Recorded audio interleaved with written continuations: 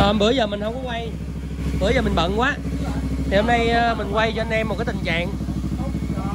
Cái xe nó không phải hiển nhiên mà nó nó nó bị hư mà không biết lý do tại sao hư.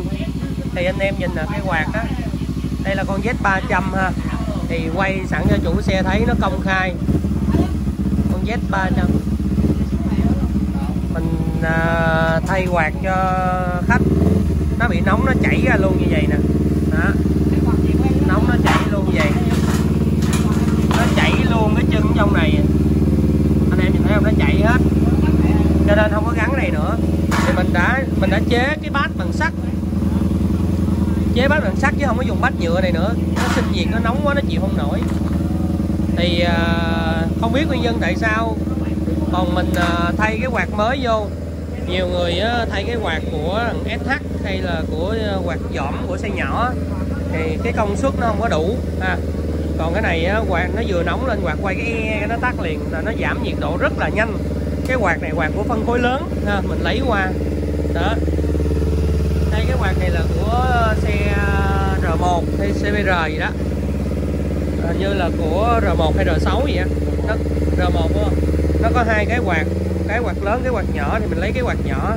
Cái quạt nhỏ là cái quạt mà mà mà phải nói sao ta? À, cái quạt này á nó cùng một cái kích thước với cái quạt này. Ha đó. Hết xăng rồi. Thêm xăng vô nổ máy em. Để ờ, mình quay cho anh em coi nó nóng lên rồi nó quay tí xíu cái là nó tắt. Có nghĩa là nó khi mà nhiệt độ nó xuống đủ rồi thì nó sẽ tắt. Cho nên nó rất là nhanh. Thì cái cái cái cái, cái, cái gọi là cái cường độ quạt á đó là cái công suất quạt của cái cái quạt này rất là lớn ha. nó hút rất là nhanh. Và anh em để ý cái quạt nó có hai đường dây. Nó sẽ đảo chiều. Khi mà mình câu quạt đúng á, là nó hút không khí mát vô chứ không phải nó thổi ra nha anh em. Nhiều người câu nó thổi ra nó thổi ra là sai ha nó phải hút không khí mát từ bên ngoài vô. Đó là nó hút vô. Sẵn nó làm mát luôn cái máy chứ không phải là nó thổi ra là hơi máy nè hơi nóng là nó đưa ra ngoài không có đúng chiều. Không có đúng khí động học và gió. Gió chạy nó sẽ lùa vô trong. Cho nên nó, nó phải hút vô thêm ha. Để nó qua nó làm giải nhiệt. Thì cái kết nước này á nó bị cạ. Nó cạ nè cái này nè. Nó cạ vô nó làm lũng lũng một lỗ thì cái này mình đi hàng mình định dán cho AB nhưng mà cái này à, mình hàng được có chỗ hàng chì. Xài rất là ok ha ok hơn là dán cho AB nhiều. Thì chủ xe chưa có tiền thay kết mới cho nên là mình à, mình đi hàng lại. Đó thì xài cũng ok thôi không có gì hết ha. Nhưng mà cái gì cũng vậy làm lại nó khắc phục lại thì nó sẽ rủi ro cao hơn. Và mình chế lại những cái bát sắt nè em thấy một bát hai bát và ba bát. Độ hở của cái quạt nên nhìn nè. Đó không? Ở cũng khá là cao. Không có thể nào mà đụng vô được. Thì cái mình không có xài cái máng này nữa. Lý do là nó nó nó nó nó nó, nó cồng kềnh quá và nó nó bằng nhựa. Nó nhiệt độ nóng nó sẽ chảy chân ra luôn nè anh em thấy không? Nó mình dùng bát sắt. Giống như phân phối lớn. Nó, không có dùng bát nhựa đó. Thì anh em coi. Độ máy nó rất là lâu tại mình thay nước mát mới nữa. Được rồi đó thay nước mát mới nữa ha. Cho nên là là nó rất là lâu nóng. Đổ từ nãy giờ. À, sau đó anh em nhìn nó quạt. Quạt cái cường độ hút nó như thế nào cho anh em coi nè. Nó nóng là nó mới quay nha. Và mà người ta thử là người ta để này lên là nó có hít hay không là nó hít vô là là ok. Nó không hít vô là mệt à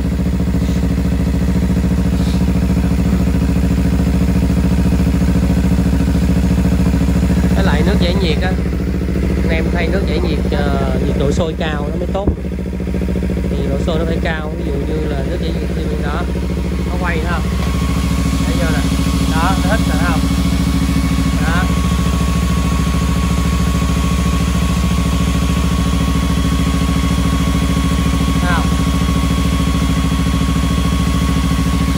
nó hết xong rồi nó nó nó, nó nhiệt độ giảm nó tắt rồi cái này cái miếng này nó sẽ tự rớt xuống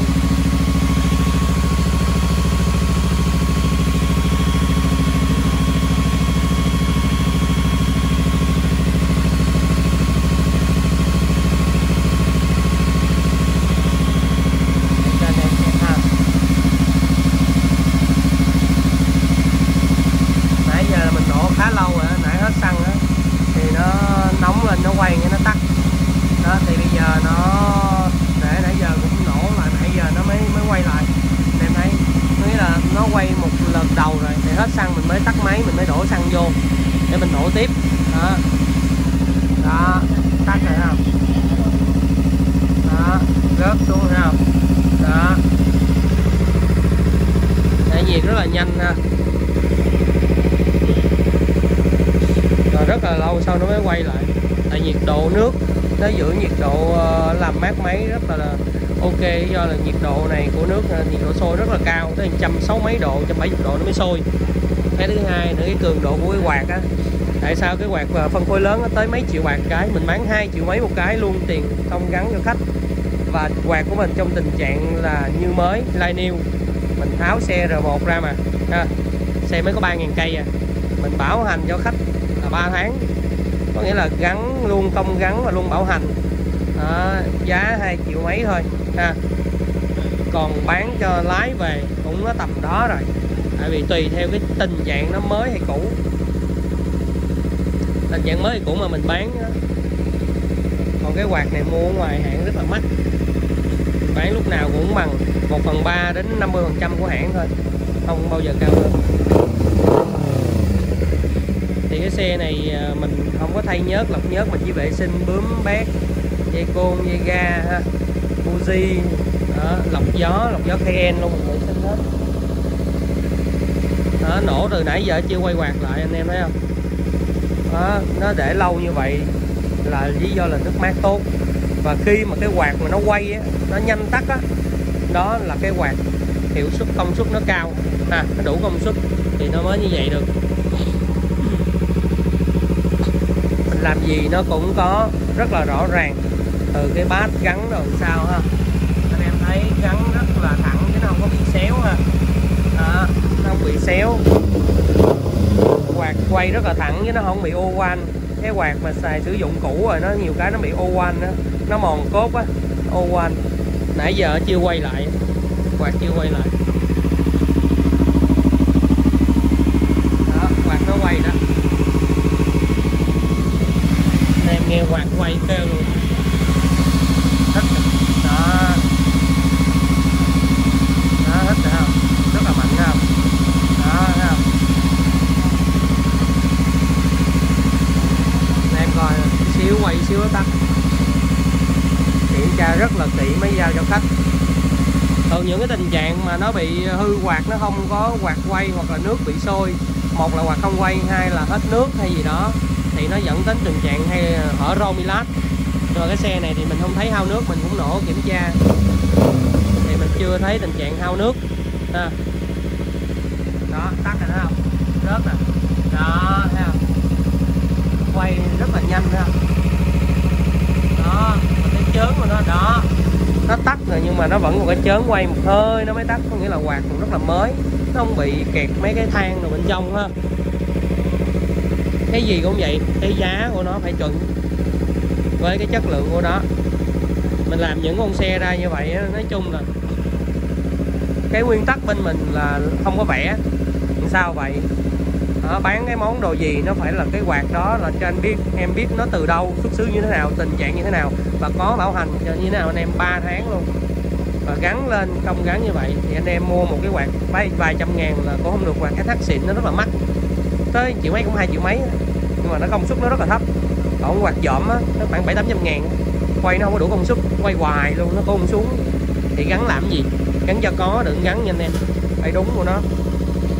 Nhiều cái xe Ducati á, như ở đó ở, ở Việt Nam mình nó nhiệt độ nó cao mình về mình phải độ cái quạt lớn hơn. Độ những cái quạt những cái của con Sport á, quạt lớn á, độ thêm vô cho nó. Thay cái quạt con cái nhỏ của nó. Bao mát luôn không bao giờ bị sôi nước. Ở một số dòng xe về Việt Nam chạy nó hay bị kẹt đường sôi nước. Thì coi lại chắc chắn là bị cái nếu mà cái đường nước còn tốt két nước tốt ha nước xài nước xịn thì chắc chắn là quạt không đủ công suất. Vậy thôi. Độ quạt khác cho nó là bao cái tình trạng mà sôi nước kẹt xe cũng không bao giờ sôi nước. Hứa với anh em luôn. À, à, quay tiếp nè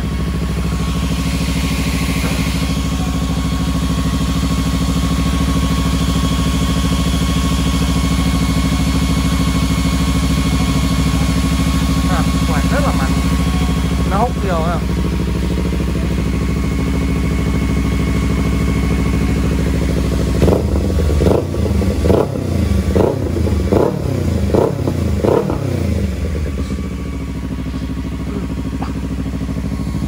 cái tình trạng cái quạt của nó, cái hơi nóng nó hút vô á, nó hút vô nó bị ngăn lại ngay chỗ này. Đó, tắt rồi không, rớt xuống. Nó ngăn cái này đấy rồi nó bị nóng, không, hoặc là cái nước giải nhiệt nó nó nó nó nó không có đạt nữa, nó cứ quay, nó làm cái cường độ làm việc của cái quạt này quá nhiều. Đó, thì nó sẽ nóng, nó chảy ra như vậy. Chứ mình cũng hiếm thấy cái cái vụ mà nó chảy quạt như vậy lắm ha rồi nó chảy vô xong rồi nó nó cạ vô két nó lũng két. Thì mình khắc phục đó, mình nổ máy mình không thấy cái, cái dấu hiệu rò rỉ của nước nữa.